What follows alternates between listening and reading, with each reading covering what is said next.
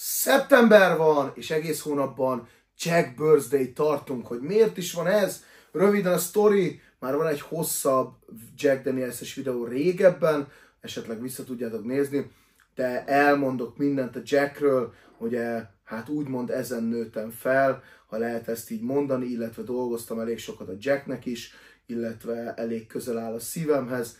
Mindig adnak ki valami új kiadás, sajnos nagyon sokat nehéz beszerezni, de beszéljünk az alap dolgokról, a Number 7-ről, az alap Fekete Jackről, Gentleman Jackről, ami itthon az alapportfólió, a Single Barrel, és ugye hoztam kettő újdonságot, erről már beszéltem, ez tavaly érkezett meg, az olor, ez egy amerikai single malt, ami oloroszos sherry finish kapott, és hát a Sinatra Century, amit hát uh, szerintem arról nem kell túl sokat beszélni Sinatráról, mert egy igazi ikon volt.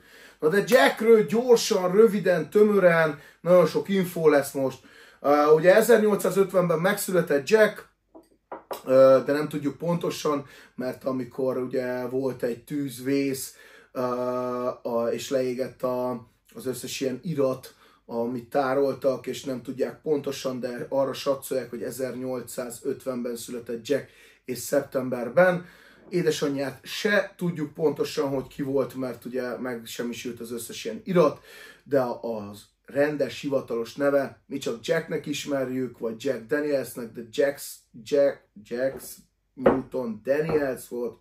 Hú, bocsánat, kicsit fáradt vagyok, ez már nem az első videóma, de na szóval Jasper Newton Daniel, nevén ismerhetjük, ugye Jack bácsit, nagyon szeretem, van egy szobor is, lehet, hogy lesz még egy.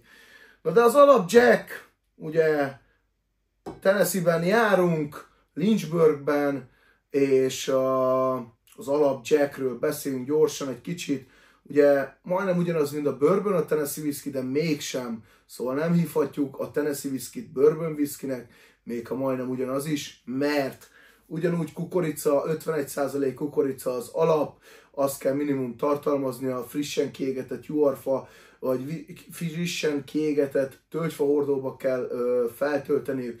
De az a különbség, ö, ja, és straight szó csak azt kaphatja meg Amerikában, ami két évig volt legalább hordóban, de az a különbség a Tennessee és a Bourbon Whisky között, ezt Tennessee államban csinálják, illetve három méter juharfa szénen átcsepegtetik. Ezt szóljon akár a Jack Danielsről, vagy a Heaven Hillsről, vagy a Dickersről, vagy bármelyik Tennessee brandről, vagy a Heaven's Doorról. Szóval rengeteg Tennessee-ben gyártott brand van, és ez a különbség. Ugye a Gentleman Jacket kétszer szűrik át, egyszer hordozás előtt, egyszer hordozás után, ezért sokkal lágyabb, sejmesebb. Én innen indulnék, ha valaki jacket szeretne inni, nem lebeszélni és szeretnék senkit, ez kólával biztos jó, én már azzal se tudom meginni, mármint úgy értem, hogy uh, nekem túl édes kólával, amúgy is a viszkiket tisztán isszuk, uh, jéggel meg nem iszunk viszkit, szóval maradjunk annyiból, hogy tisztán, szobajöméseket jég nélkül, Gentleman Jack, aztán a nagy favoritom 7 évig érlelt, és a legmagasabb Angel Share van a hordóknál, a single barrel általában 6,5-7 évesek szoktak lenni. Aztán a két legújabb, vagy hát nem is két legújabb, mert ez már közel 7-8 éve van a piacon, ő egy éve. Még ami itthon alapportfólióba számít, az a Number 27 a Gold. Én ma ő belőle szeretnék inni, mert amúgy nagy kedvencem. De hogy ki is volt Jack, ugye, és honnan indult az egész, egy néger telepestől, méghozzá Uncle Nertől vette a receptet, az alapreceptúrát, és ő csak finomította, illetve ö, egy dollárért vette a lepárló üstjét, ami hát egy nagyon jó befektetés, mert most milliárdokat csinálnak évente a Jack Danielsből, ugye tavaly beszállt a Forma 1-be és a McLarenhez, szóval, és mindig egyre nagyobb szponzorációkos és ilyenekhez lehet kötni.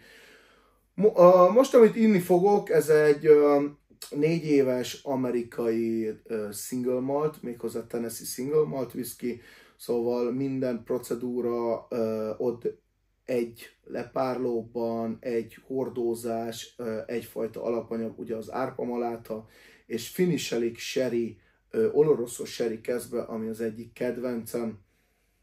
Ó, oh, szóval ez egy nagyon jó, ha be tudjátok szerezni, igazából Isten finom. Amerika ugye most megpróbálja lovagolni ezt, hogy egy kicsi-kicsi cikket kivesz a skótoktól, írektől, hogy uh, picit ők is akarnak single maltot gyártani, és hát miért ne? Egy pici pénz mindig plusz, az csak jó tud lenni. Ó, illatában amúgy egészségünkre. Nekem most amúgy nem tudom miért, ez amúgy mindig teljesen szubjektív, és mindig más tud lenni.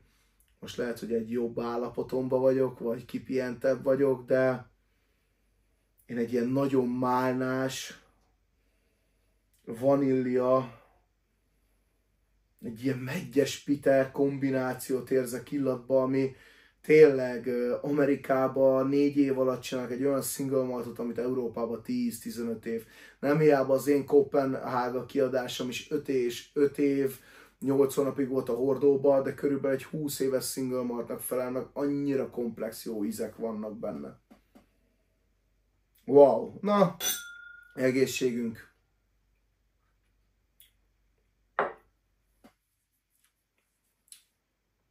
Mm. Fás, tosztidos ízjegyek, vanília, ott van azért, hiába, hiába mondják, hogy általában bőrbönöknél ennél is nagyon érezni lehet, mert nem ex-bőrbönbe rakták, hanem frissen kégetett uh, hordóba rakják, a skótokkal ellentétben, ezért is ennyire sötét a színe, hát meg még persze az olorosszó is kiveszi belőle nagyon hosszú lecsengéssel, lágy, ő már egy 45 fokos viszki.